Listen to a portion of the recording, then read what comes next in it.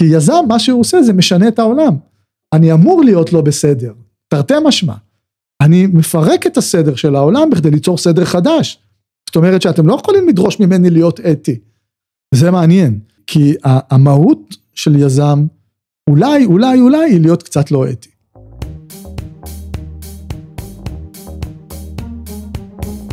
המצב הפוסט-אנושי, פודקאסט על טכנולוגיה, תרבות ורוח, עם דוקטור כרמל וייסמן.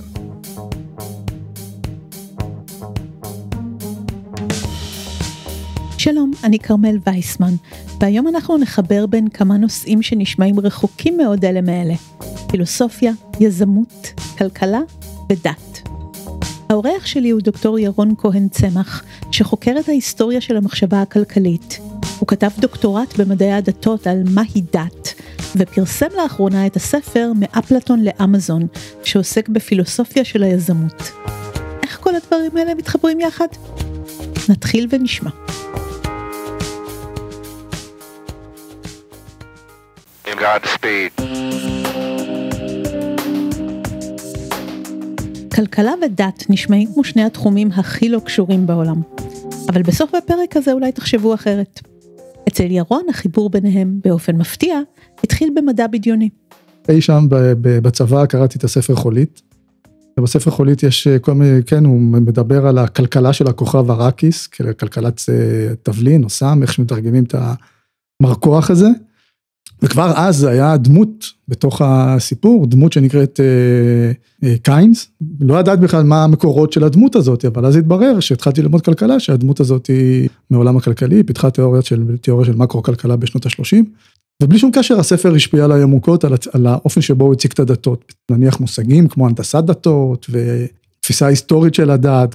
כשהתחלתי ללמוד כלכלה אז קיבלתי איזה סוג של זפת על הפנים, אפשר לקרוא לזה ככה, שאלתי, תמיד התעניינתי בפילוסופיה של המדע, זאת אומרת, כאילו, בשאלה של מי אמר את הדברים, כאילו, ומאיפה זה בא, ומה הרעיונות אה, הכלכליים, מי פיתח את הנוסחה הזאת, ולמה דווקא זה הפרמטרים האלו וכדומה. ושאלתי את המרצה, אחת המרצות בתואר ראשון, שאלתי אותה, מאיפה זה? מי פיתח את הדברים האלה? זה היה בשיעור מיקרו, והיא אומרת לי, מה אכפת לך? יש לך את הנוסחאות, תלמד, יש לך מבחן, וגמרנו. והדבר הזה בער בי, כאילו הבנתי את המשמעות של האמירה שלה, אל תשאל במופלא ממך בשלב הזה. בתארים המתקדמים ירון עבר למדעי הדתות, איפה שדווקא מעודדים לחקור במופלא ממך. אבל דווקא שם פתאום הפציעה המחשבה הכלכלית במקום מפתיע. באמצע שנות התשעים התחילה מחלוקת בין סוציולוגים אמריקאים וסוציולוגים אירופים על השאלה האם העולם עובר חילון, האם המודרניות בהכרח מולידה חילון של החברה ושל האנשים. זאת הייתה הציפייה שהדת תלך ותיעלם ואנחנו נהיה הרבה יותר רציונליים. ככל שאנחנו נהיה חברה יותר מודרנית ויותר מוסרית, מעצם האנושיות שנעניק לכל אדם או שכל אדם יוכל לבטא את האנושיות שלו. או לסיכום האנושיות בטבעה היא חילונית. ואז נוצרה בתחילת המאה ה-20 איזה סוג של פרדיגמה זה עתידו של כל אדם, עתידה של כל חברה, כל הסוציולוגיה כמעט קיבלה את זה כמובן מאליו. זה מה שהולך להיות. העולם הולך לכיוון של חילון, אבל למעשה זה לא קרה. ובשנות ה-70 מתחילה סוג של התפכחות או ערעור על התזה הזאתי, וסוציולוגים בארצות הברית התחילו לחשוב אחרת, ובמקום אה, להסתכל על הדת מהצד של הביקוש, זאת אומרת במובן של כמה אנשים רוצים דת, ואז זה יכול להסביר את התנודות בכמות ההשתתפות בכנסיות, נניח בימי ראשון. אתם טענו שהתנודות בהשתתפות הדתית לא נובעות מהרצונם של אנשים, אלא נובעות מההיצע שקיים. אותם סוציולוגים, בעיקר בהובלת רוטני סטארק, אימצו מודל שבא ואומר שאם זה עניין של היצע וביקוש, אז צריך לבדוק את ההיצע. אם נניח הדת, כמו הקתוליות או היהדות, היא מונופול, בחברה מסוימת, אז או שאתה בפנים או שאתה בחוץ, אין לך... ואם לא מוצא חן בעיניך מה שהדת מציעה, אז אתה לא עושה. מה קורה נניח בחברה אמריקאית, ששם ההיצע הוא מאוד מאוד רחב, יש הרבה מאוד סוגים של דת, יכול להיות קתולי ופרוטסטנטי, מורמוני ויהודי, ובתוך הפרוטסטנטיות יש אין סוף זרמים, ועניין אותי מאוד לחקור את זה, להבין את היסודות ואת המחשבה, ואיך פתאום אתם מכניסים, פתאום מכניסים מושגים כלכליים, ותפיסת האדם הדתי כאדם רציונלי, שזה אחד החידושים שלהם. האדם הדתי הוא רציונלי, הוא מחליט כמה הוא מוכן להשקיע. הוא משקיע את, את הזמן ואת הכסף שלו, ואת המשאבים הנפשיים שלו, בכדי לקבל משהו. מה הוא מקבל? הוא מקבל הבטחה כלשהי לעתיד, העתיד בעולם הזה, העתיד בעולם הבא. עכשיו, ככל שהוא יותר מאמין שיהיה את העולם הבא, או שההבטחה תתממש, אז הוא מוכן לשלם במרכאות יותר. אחד הדברים שריתקו אותי זה בעצם איך אתה בכלל לוקח מושגים כלכליים ואתה עושה איתם דיון על הדבר הכי לא רציונלי שיכול להיחשב, כמו אמונה באלוהים או מחשבה על עולם הבא וכל מיני דברים כאלה. למזלי הייתי בתקופה שבאמת גם עבדתי בעיתון, בדה מרקר, והתעסקתי כל היום במושגים כלכליים וגם התחלתי ללמד את זה. אז א', שאלתי את עצמי, מאיפה באים הרעיונות האלה בכלל? מאיפה בא הרעיון שהאדם הוא רציונלי? מאיפה בא הרעיון שכלכלה של שוק חופשי היא הכלכלה הנכונה? אולי כלכלת מונופולים היא כלכלה יותר טובה? ואז חזרתי לשאלה שלא קיבלתי תשובה אליה בתואר ראשון. השאלה של מאיפה באו כל הרעיונות האלה, מאיפה בא הרעיון שרודני סטארק לוקח אותו, נקרא תיאוריות הבחירה הרציונלית, שאדם עושה תמיד בחירות רציונליות בחיים שלו, וזה הקשר אל הדת פה ברור, שאתה מדבר על טבע האדם, אדם הוא רציונלי מטבעו, אדם הוא דתי מטבעו, או חילוני מטבעו, איך אנחנו בכלל יודעים מהו טבע האדם? שאם אני יודע מה טבע האדם, אז אני יודע א', מהי הדת הנכונה, ואז אני גם יודע מהי הכלכלה הנכונה, ומה צורת החברה הנכונה, מה מותר לעשות, או מה ראוי לעשות, הכל מתחיל משאלת טבע האדם. הרי זאת השאלה הבסיסית ביותר בפילוסופיה, ובכדי להבין אותה צריך לחזור אחורה כמה שיותר. אז ירון הגיע לפילוסופיה כגשר בין דת לכלכלה, ואז נכנסה לתמונה היזמות. כשהתחלתי ללמד את ההיסטוריה של המחשבה הכלכלית, אז הבנתי שצריך לחזור אל המקורות, המקורות הבסיסיים ביותר, וזה הפילוסופיה היוונית, לשניים, שני העיקריים ביותר, זה אפלטון ואריסטו, ובאופן די מפתיע, או לא מפתיע, שני הספרים המרכזיים שלהם על המדינה, הם ספרים בעצם על כלכלה. הם שואלים מהי המדינה הטובה, גם אפלטון בספרו המדינה וגם אריסטו בספרו הפוליטאה, הפוליטיקה, סליחה. אצל שניהם הדיון מהי המדינה הטובה מעורב בתוך השאלה מהי הכלכלה הטובה. אפשר לראות שני אה, מסלולים מאוד מאוד ברורים של מחשבה כלכלית, לאורך כל ההיסטוריה. אז אפלטון, הכלכלה הטובה מבחינתו זה חיים קהילתיים, של שיתופיות והסתפקות במועט, חיים קהילתיים כמו שאנחנו מכירים בתוך משפחה או בתוך קיבוץ קטן כזה כמו שהוא מתאר, אולי אחד התיאורים הראשונים של תפיסה אה, קהילתית, מה שבמאה ה-19 יהפוך להיות סוציאליזם. תלמיד של אפלטון, אריסטו, התנגד כמובן לזה, לדעתו זו תפיסה שמנוגדת לטבע האדם. האדם משלים את מחסוריו, על פי אריסטו, על ידי מסחר, ולא על ידי שיתופיות, ואדם צריך להתמחות במשהו ולהחליף עם אחרים. זאת אומרת שדווקא חברה מסחרית היא הדרך הנכונה להשלים את מה שחסר. ורואים את התפיסות האלה מתגלגלות לאורך ההיסטוריה, בין אם זה בימי הביניים האירופיים, אז רואים אה, תיאולוגים אה, אפלטוניסטים, כמו נניח אוגוסטינוס, ותיאולוגים אה, אריסטוטלים, כמו אקווינס, אבל ממאה ה-16 כבר שני הזרמים האלה ברורים, יש קהילתיים שמתפתחים להיות סוציאליסטים, והמסחריים שהופכים להיות בסופו של דבר, דרך אדם סמית, קפיטליזם של, של סוף המאה ה-19, שאז כבר קוראים לזה גם בשם הקפיטליזם. אפשר לראות את ההמשכיות של הדפוס הזה שירון דיבר עליו גם בעידן האינטרנט.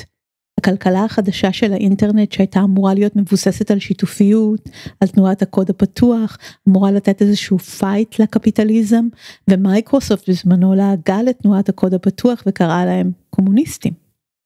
וזה מעניין לחשוב על השלב הבא של זה עכשיו, עם החוזים החכמים של הבלוקצ'יין, עם הבינה המלאכותית, שגם הם איזשהו ניסיון לייצר תשתית לעולם שיתופי ללא הסדרה לכאורה, כי גם הם סוג של הסדרה, כן? עולם שיתופי ללא הסדרה, זה, זה מה שאפלטון רצה שיהיה בהתחלה, התחלה, התחלה.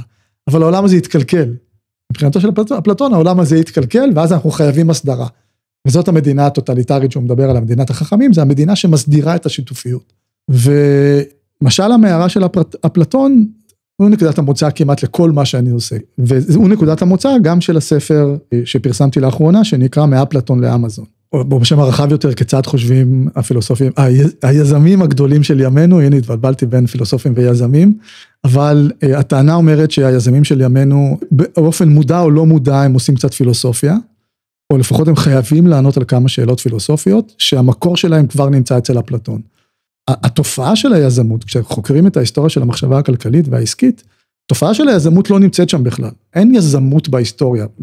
ברור שהיו יזמים שעשו דברים ופיתחו דברים ושכללו דברים, אבל כנושא למחקר זה מתחיל באמצע המאה ה-19, מתחילים להסתכל, לראות אוקיי, יש פה תופעה חדשה, זה לא בעל קרקעות, זה לא אה, העיקר, או זה לא הפועל, זה מישהו אחר, זה מישהו שהקים את המפעל, או מישהו שיוזם את תהליך הייצור, ואז מתחילים להסתכל עליו כאל, מה בעצם הוא עושה הדבר הזה.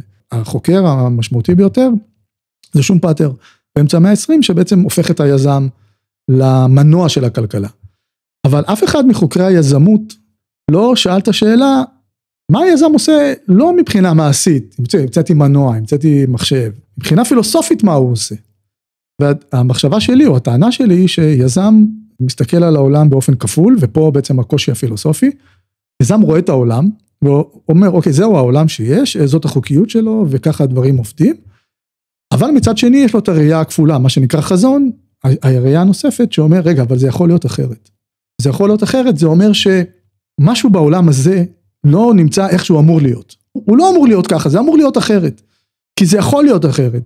ואני כיזם, אני רוצה שמה שיכול להיות אחרת, יהיה גם המציאות של כולם. ופה נכנסת השאלה הפילוסופית, כי הפילוסופיה של המדע שואלת את הפיזיקאי, יבוא פיזיקאי, יגיד לי, תשמע, זה החוקיות של העולם, אני אגיד לו, איך אתה יודע? איך אתה יודע שזאת החוקיות של העולם? ויהיו לו תשובות. אבל כשיבוא יזם ויגיד לי, תשמע, זה יכול להיות אחרת, אז השאלה, איך אתה יודע שזה יכול להיות אחרת, היא שאלה יותר קשה. יש לי את הדרכים לדעת שזה העולם, אבל מה יכול להיות אחרת?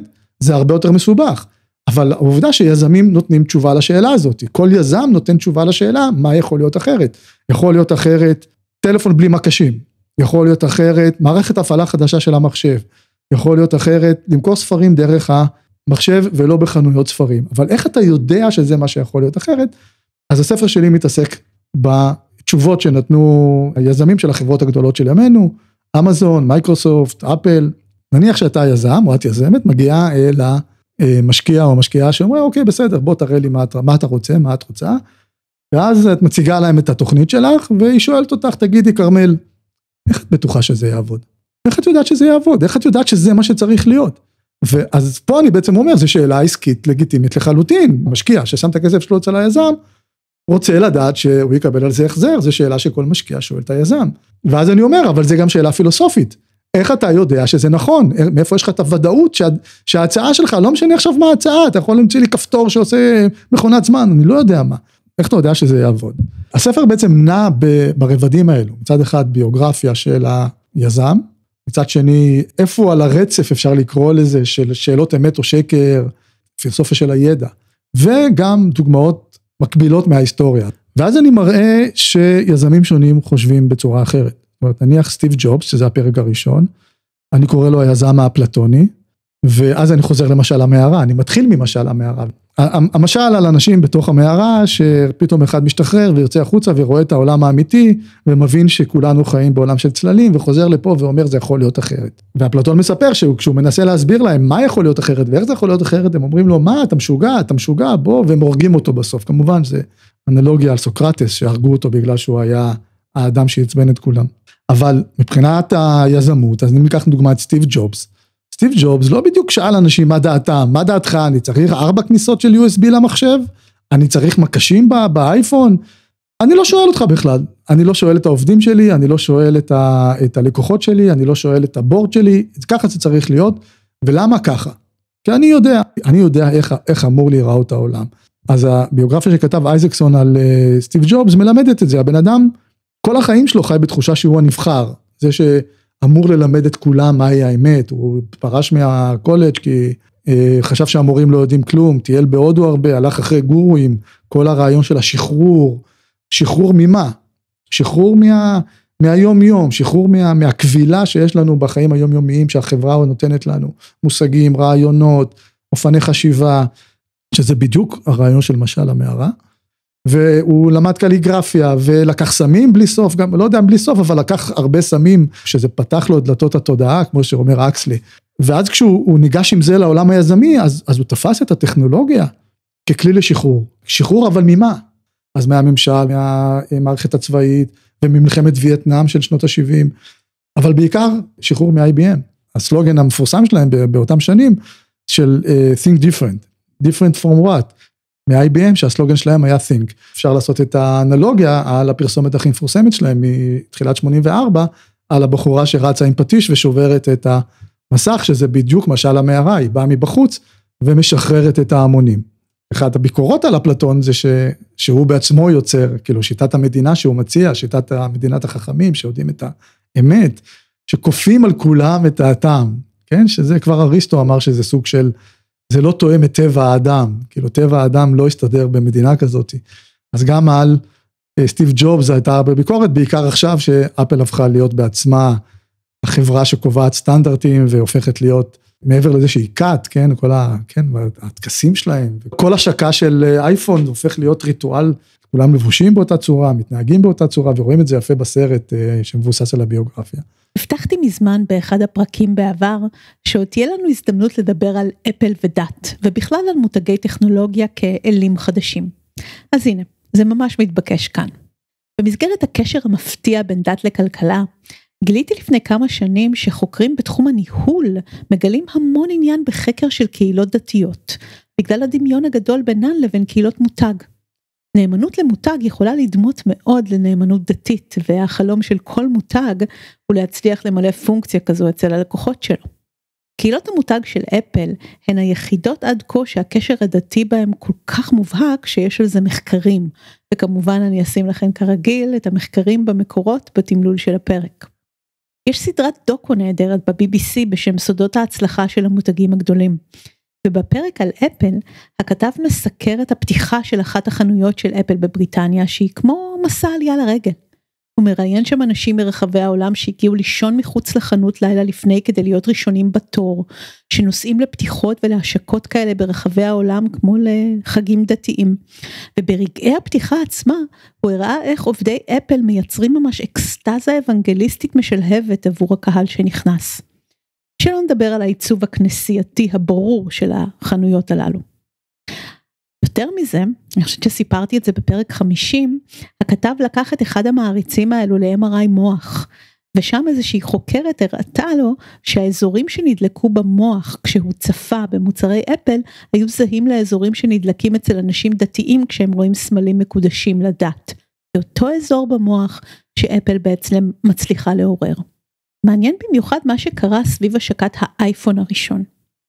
הבלוגרים של הטכנולוגיה מעריצי כת האפל דיברו על הבשורה של האייפון כעל תחייתו של ישו ברמת סדר הגודל וברשת פשטו ממים של האייפון מוחזק על ידי מריה הקדושה במקום baby Jesus וכל מיני אנלוגיות שחלקן הומוריסטיות אבל השיח מאוד מאוד תפס הישו פון כן ישו חוזר בדמות אייפון.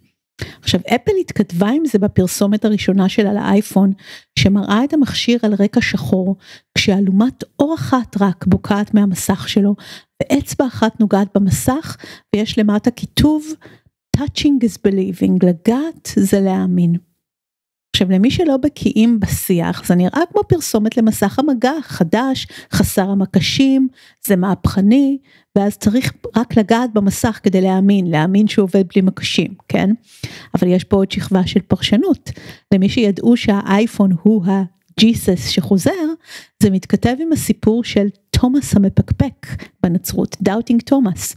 השליח היחיד שלא האמין שישו חזר בפעם השנייה כשהוא חזר לתחייה, הוא היה צריך לבוא ולגעת, ורק המגע גרם לו להאמין, לא הראייה של ישו, אלא המגע. אז יש כאן איזושהי הזמנה בעצם, איזשהו משחק והתכתבות עם הרעיונות הדתיים של הנה הג'יסס פון, האייפון כישו, תיגעו בו ותאמינו.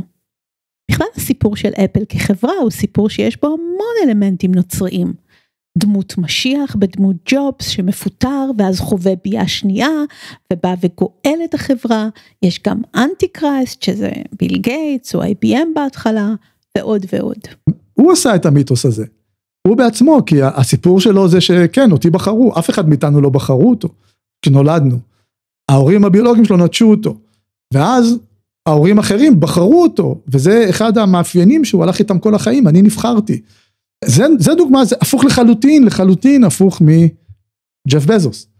ג'ף בזוס כמה שהוא רוצה להיראות שהוא יזם, אה, נקרא לזה אפלטוני, שפתאום יש לו הערות ואינטואיציות וככה זה יהיה ותעשו כמוני. אז נכון שככה זה יהיה ותעשו כמוני, אבל לא בגלל הסיבות של סטיב ג'ובס, אלא מכיוון שהוא תפס את עצמו כאדם הכי חכם, הכי רציונלי שיש. אם סטיב ג'ובס הוא באזור האי רציונלי של ההבנה מה צריך להיות, ג'ף בזוס הוא הרבה יותר רציונלי, הבן אדם, אה, גם בעבודה שלפני שהוא המציא, פיתח את אמזון, הוא היה מפתח מודלים להשקעות בהון סיכון, או בקרנות גידור, סליחה. הרבה דאטה, ולהכניס אותם לתוך מודלים, ולהוציא מסקנות, ואז להבין, ואז לפתח, ואז... אתה חייב להיות רציונלי, אתה לא אומר, ככה זה יהיה כי ככה זה יהיה, לא. וזה מה שהוא עושה עם אמזון. שתי דוגמאות מובהקות עם אמזון של, שמבטא את האופי של uh, ג'ף בזוס, אחד זה השם, הוא רצה לקרוא לזה אה, קדברה.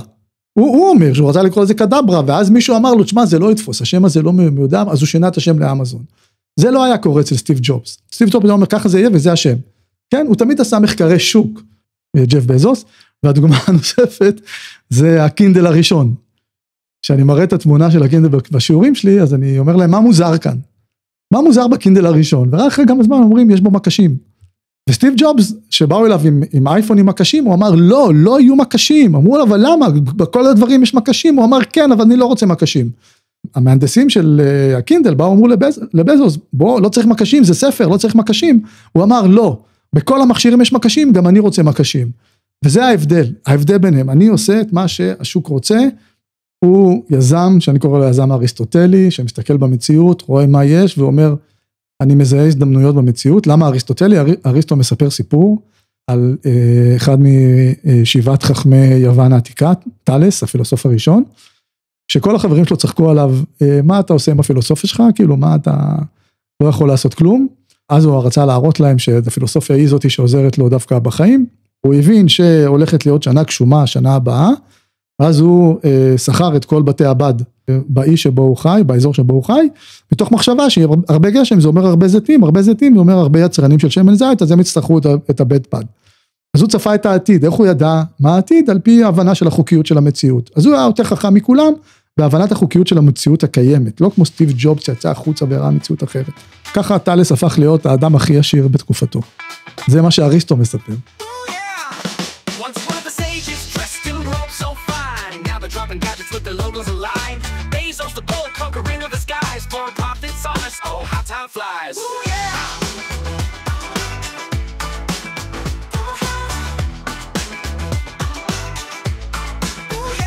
Musk with his chariot, electric and sleek, talking to Mars like it's down the street.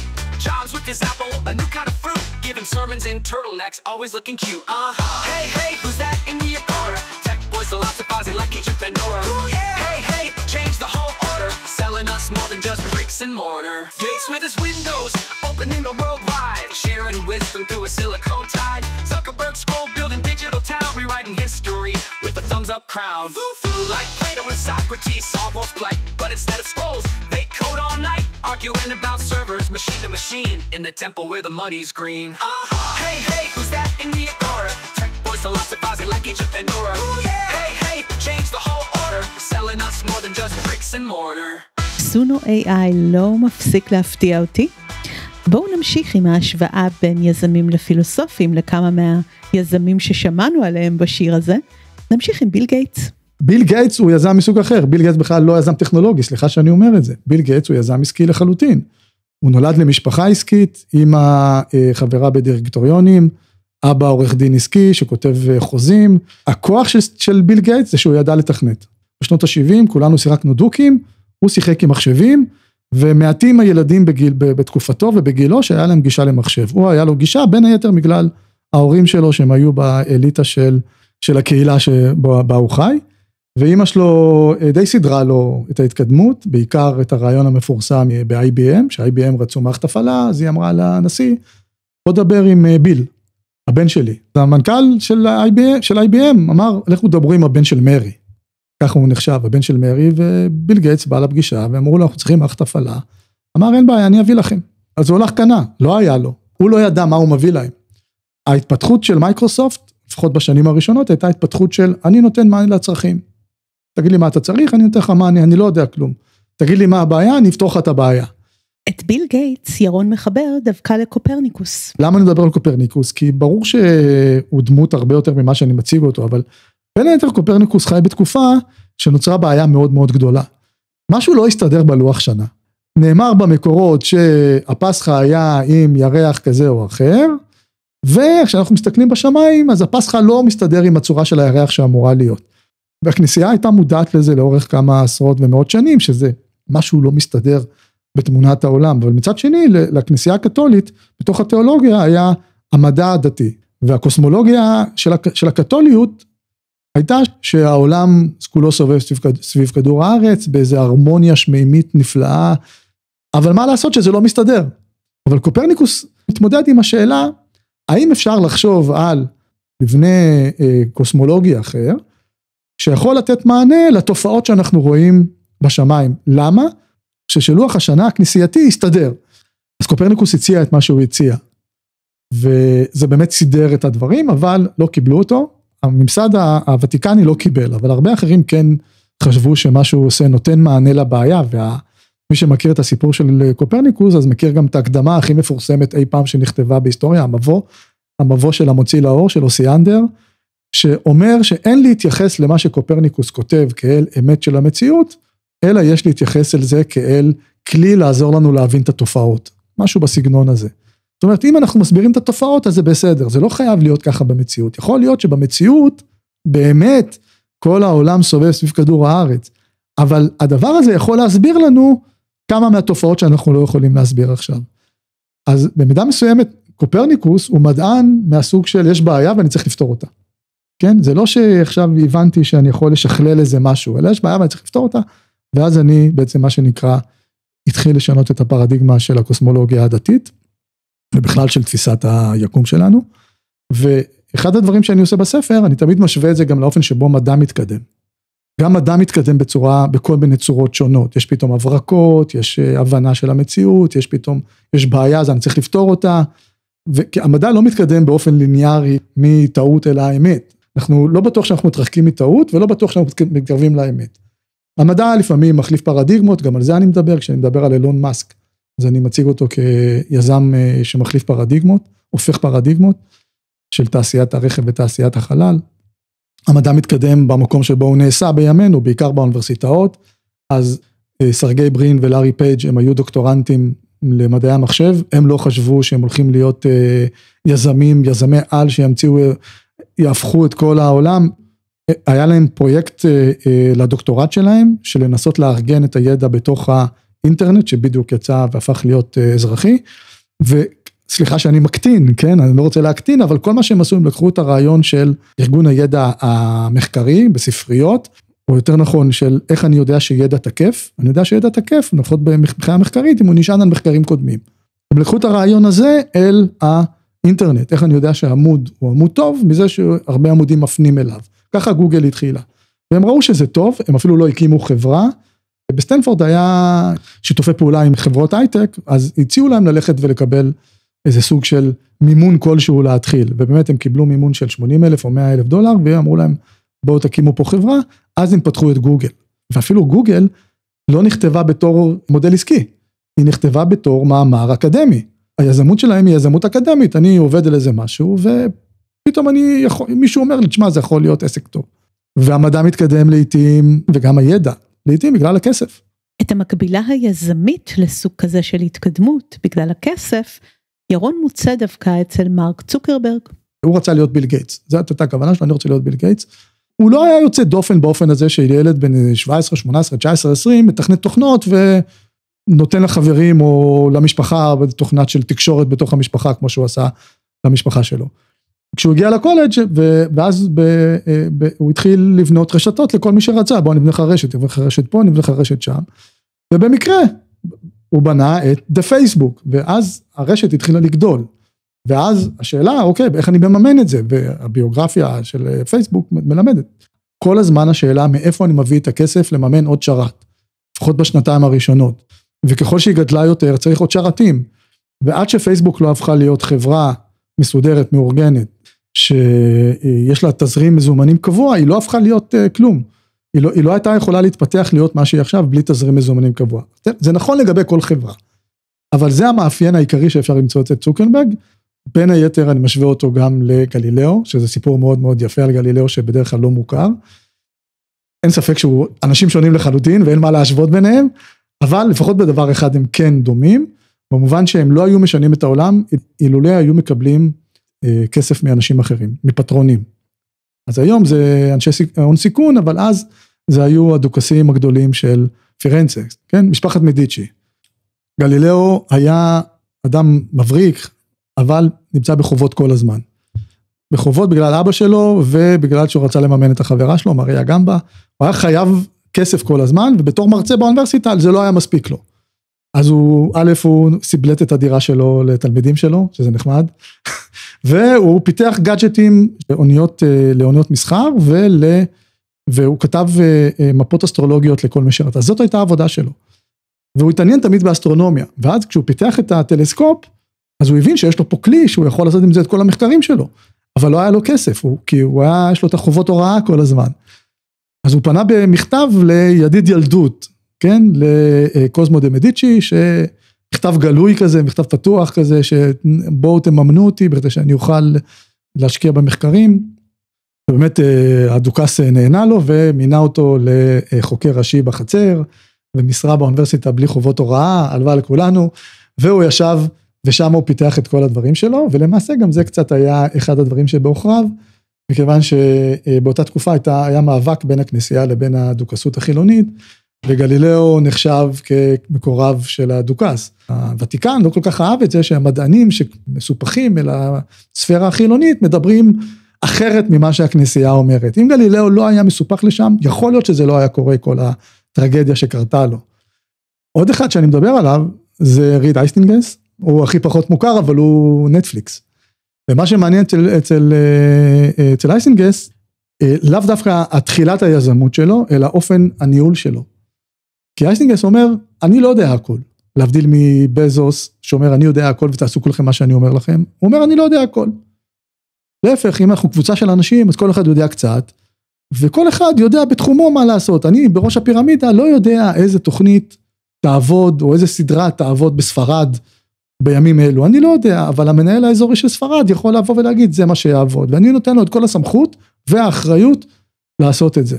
אני לא מסתיר שום דבר מהעובדים שלי, אני, העובדים שלי לא מסתירים ממני כלום, יש משהו בקבוצתיות, הידע הקבוצתי הוא זה שאומר לי לאן ללכת, הוא זה שאומר לי מה נכון לעשות. לא בגלל שזה מוביל אותי לאמת, מקרב אותי לאמת האולטימטיבית ש... שאז אני יכול לשאול או איך טעיתי, לא, אלא כי אין אמת אולטימטיבית, אין את ה... מצאנו את האמת ועכשיו כולם צריכים לעשות כמוני כמו סטיב ג'ובס וג'ף בזוס, יש מה שעושים כי הקבוצה החליטה. קבוצה החליטה שלשם הולכים, אז לשם הולכים. ההשוואה בין היזמים לפילוסופים מעניינת, אבל הבטחנו לסגור מעגל עם דת, וזה מביא אותנו לפרק הכי חשוב, הכי מקורי והכי מעניין בספר, שהוא פרק הסיכום. זה הפרק על האתיקה של יזמות, שזה נושא שכמעט לא מדברים עליו. כי יש דבר כזה? אז זה, הנה, הנה, זה בדיוק השאלה. זה בדיוק השאלה, האם יש דבר כזה אתיקה של היזמות, ודרך אגב, זה נגזרת של שאלה של קורס אחר שאני מעביר, אתיקה בעסקים בכלל, האם יש אתיקה בעסקים? אז בוודאי שיש אתיקה בעסקים. והיא יכולה להיות אתיקה של אני מרמה את כולם, זה גם סוג של אתיקה. ו, אבל זה לא נכון, כולנו בעולם העסקים וכולן, ורובנו אנשים אתיים. מהרגל או מכוונה שאני יכול עכשיו לרמות, אבל אני לא מרמה, כי אני בן אדם אתי, לא מרמה אף אחד. ועולם היזמות זה עוד יותר, כי יזם, מה שהוא עושה זה משנה את העולם. אני אמור להיות לא בסדר, תרתי משמע. אני מפרק את הסדר של העולם בכדי ליצור סדר חדש. זאת אומרת שאתם לא יכולים לדרוש ממני להיות אתי. אני ממציא משהו חדש ואני מקים חברה חדשה וחברה אחרת מתמוטטת. אז אני לא אתי? בגלל שהחברה השנייה התמוטטה? אני הייתי אמור לבוא ולהגיד לא, מה פתאום אסור לי לעשות כי אני ממוטט את החברה? זה מעניין, כי המהות של יזם אולי, אולי, אולי היא להיות קצת לא אתי. לא במובן של לרמות, ועל זה אני מדבר. בסדר, תהיה קצת דיוניסי, במובן שאתה מפר את הסדר. אבל אם אתה תבנה חברה לא אתית, העובדים שלך יהיו לא אתיים. והמוצר שלך יהיה לא אתי, ואני קושר את זה גם אה, לסיפור של אה, טראנוס, שהיא רימתה את, אה, את המשקיעים שלה ואת הלקוחות הפוטנציאליים, קצת אדם נוימן, ובכלל באופן כללי על מה הגבול בין יש לי חזון לבין יש לעשות את המעשה הראוי, ופה אני אגיד עוד מילה, שאין מסגרת אתית בדרך כלל לדברים האלו. בפרק 50, פרק הלייב שלנו, עשיתי שיחה קצרה עם דוקטור ליאור זלמנסון על המקרים של טרנוס, אדם נוימן, אובר, אפילו אנה דלוי, וניסינו לשרטט איזשהו גבול, אם בכלל יש דבר כזה, בין אתוס החדשנות והיזמות של עמק הסיליקון לבין הונאה. ליאור דיבר אז על היזם כיוצא נגד הסדר החברתי, עושה hacking למציאות, ושאתוס היזמות הוא בעצם לעשות את הבלתי אפשרי. ולכן אני אמרתי שלא בטוח שאליזבת מיטרנוס הייתה באמת נוכלת והתכוונה לרמות, כמו שהיא באמת ניסתה להתנהג כמו יזמית טובה. כזאת שקצת מזייפת את הדמו עד שזה יתאפשר, עד שהבלתי אפשרי יהפוך לאפשרי, כי זה מה שמלמדים. ועמדנו בפרק ההוא על הקרבה הזאת בין היזמות לבין דת או כת, מתוך איזושהי אינטואיציה. אבל ירון מגיע לזה ממקום עמוק ומבוסס מאוד בקשר בין מחשבה כלכלית למדעי הדתות. מה שהייתי רוצה לפתח את הרעיון ש, שנרמז שם בספר, אבל יש הרבה מקום לפתח אותו, אני קורא לזה אה, האתיקה האקזיסטנציאליסטית ורוח היזמות. זה כמו שובר דיבר על האתיקה הפרוטסטנטית ורוח קפיטליזם, שהוא אומר שלותר וקלווין יצרו איזה אתיקה מסוימת שאחרי זה התגלגלה להיות הקפיטליזם. אז אני אומר שהאתיקה של היזמות מתחילה באתיקה הפרוטסטנטית, פחות או יותר אצל ניטשה. שניטשה בא ואומר אלוהים מת אז כל האדם הוא בעצם היוצר והבורא של עצמו והבורא של העולם ותעצב את העולם איך שמתאים לך או איך שנכון כי אתה האדון אל תהיה העבד ומוסר של אדונים ומוסר של עבדים. אז כמובן שניטשה לא דיבר על יזמים הוא סלד מהעולם העסקי וראה בזה מנגנון של התנוונות. הוא דיבר בעיקר על אומנים, או על אדם שיכול להיווצר מהאדם שבורא את עצמו ובורא את העולם שסביבו. אז ככה שהיזמים לא בהכרח מכירים את ניטשה, או יוצאים מניטשה, אבל מה שהיזמים עושים זה מה שהוא דיבר. הם דיוניסים, הם לא שומרים על הסדר. כי אם אני שומר על הסדר, אז אני לא עושה כלום, כי הסדר כפוי עליי מבחוץ. בשביל להיות יזם אני חייב לחשוב בצורה פורעת, קוראים לזה שיבוש. שיבוש, שיבוש, נכון, מי שקרא לזה שיבוש במקור זה אה, שום פאטר שדיבר על אה, חדשנות משבשת. סדר עלול להוביל לניוון, ואז בא היזם ומשבש את הסדר הקיים ויוצר סדר חדש. זה לא שהיזמים אמרו אני ניטשאי ואני עושה את זה. משהו בי דוחף את זה.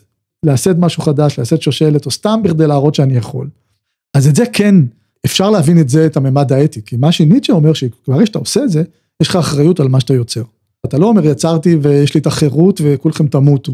אתה הופך להיות האדון, יש לך אחריות על הסביבה של, שאתה יצרת והסביבה של האנשים שמושפעים ממך, ואתה לא אומר אני האדון וכולכם תמותו, אלא אני יצרתי ועכשיו זה העולם, זה העולם שלי, בסדר, אבל אני אחראי עליו. העל אדם זה תחליף מסוים לאלוהים. הרי אלוהים הוא, הוא, הבור, הוא היוצר האולטימטיבי, הוא היזם האולטימטיבי. הוא יזם את העולם בדברו ובמעשיו. והוא אמר אוקיי מה שיזם מה שיזמתי מה שבראתי זה מה שרציתי שיהיה כן היה כלום היה כאוס תוהו ובוהו ובראתי בראתי את הכוכבים ואת השמיים בראתי את זה ובראתי את זה ויאמר אה, כי טוב. כי טוב למה כי טוב כי זה מה שרציתי שיהיה. היה לי את הדימוי הזה בראש היה לי את החזון בראש ויצרתי וכי טוב. ואי אפשר להפר את מה שאלוהים עשה. אתה לא יכול עכשיו לברוא עולם אחר. השורש יזמות אה, יזם י"ז מ', הראשון, אם לא הבלעדי שמופיע במקרא, זה על אלה שבנו את אה, מגדל בבל. אלוהים אמר, הם יוזמים לעשות משהו, כאילו, מה הם יוזמים? הם משבשים את הסדר שאני יצרתי. אתה לא יכול להיות יזם בעולם שבו אלוהים ברא את העולם וגמרנו. אז במאה ה-19 אלוהים מתרחק. ואז יש מקום למשחק החופשי של בני האדם, כמו שזה נקרא אה, בשפה הכלכלית. והיזמים בתוך המשחק הזה, אני עושה את מה שטוב לי, מה שאני חושב שצריך להיות, ו... וזה טוב לכולם. לא בגלל שאני רוצה שיהיה טוב לכולם, אני, אני, לא, אני לא עשיתי את אה, אמזון כי אני רוצה שיהיה טוב לכולם. עשיתי את אמזון כי אני חושב שאני יכול להרוויח. אה, אה, למה אמזון? כי אני חושב שרק ככה אפשר למכור ספרים, וה... ולכן אני משבש את כל הברזן הובז, ומשבש אותם, בסדר. ש... שיתאימו את עצמם, לא... שלא יתאימו את עצמם אליי, הם לא צריכים להיות מותאמים אליי, הם צריכים להיות מותאמים לעולם שאני יוצר. וזה כבר דבר אחר, זאת אומרת, אני עכשיו זה שיוצר את העולם. אז יש משהו ב, באתיקה האקזיסטנציאליסטית שהוא הרוח של היזמות. זה גורם לי לחשוב גם על פרק 73 עם בועז לביא, שבו דיברנו על הניסיון של יזמי הבינה המלאכותית ליצור אל מכונה שחכם מהם. איפה זה שם אותם, את היזמים, במשוואה הזו? האם יזמות היא בהכרח סוג של ערעור על הדת? במידה מסוימת מי שהיום יוצר AI הוא לא רק יזם, הוא כן, הוא כן אלוהים, בסרט אה, אקס מכינה, הנסיין אומר ליוצר, אז אתה בעצם, אתה הדמות הכי חשובה בהיסטוריה האנושית, ואז אחר כך, כשהיוצר אומר לנסיין מה הוא אמר לו מקודם, אז הוא אומר לו, אתה אמרת עליי שאני הגורם הכי חשוב בהיסטוריה האלוהית. זאת אומרת שיש פה את העניין הזה שהיזם הוא, הוא סוג של אלוהים מסוים, הוא יוצר את העולם. ובעיניי זה יכול להיות רק בעולם שבו האלוהים קצת יתרחק. עכשיו זה לא אומר שאין יזמים דתיים, זה לא אומר שאי אפשר יזמות בחברה דתית, אבל המשמעות הפילוסופית של יזמות, יש לה אה, אה, ממד, כן, ממד דתי עמוק עמוק, שאני חושב ש, שחברה דתית, ש, שאלוהים הוא, הוא, הוא דמות דומיננטית בעולם. הוא מתערב, הוא, הוא, הוא שומע, הוא נותן חסדים ואת כל הדברים האלה. קשה מאוד לחשוב על הבנה עמוקה עד כדי כך של, של, של התופעה הזאת. אני לא אומר שלא בלתי אפשרי, אבל זה מתנגש עם התפיסות הבסיסיות ביותר של, של העולם, איך אני תופס את העולם בכלל. אני חייבת להודות שבהתחלה זה קצת עורר בי התנגדות לדבר על דת במונחי ביקוש והיצע, אבל יש הבדל בין המוסד הדתי לתיאולוגיה ולתפיסת האלוהות, וירון מתחיל בראשון, אבל מסיים באחרון.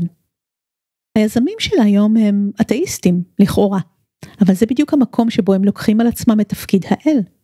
שימו לב איך מאסק ואלטמן מדברים כל הזמן על טובת האנושות ומאשימים זה את זה שההוא הפסיק לחשוב על טובת האנושות. כאילו שאנחנו חיים בעולם ללא אל, ומאסק הוא זה שחייב להתגייס לגאולה תחתיו. האם זהו השורש הרוחני של יזמות? מאוד מעניין לחשוב על היזם כעל על אדם ניטשיאני, האידיאל הפוסט אנושי שלנו. ואם היזם באמת אמור להיות באיזשהו מקום לא אתי, כי הוא מפר את הסדר האלוהי, אז מה זה מלמד אותנו על אתיקה? אתיקה שווה הסדר האלוהי? איך שאלוהים עשה את הדברים אמור להיות הבנצ'מרק של הטוב? תראו, גם אני נדבקתי במושגים כלכליים.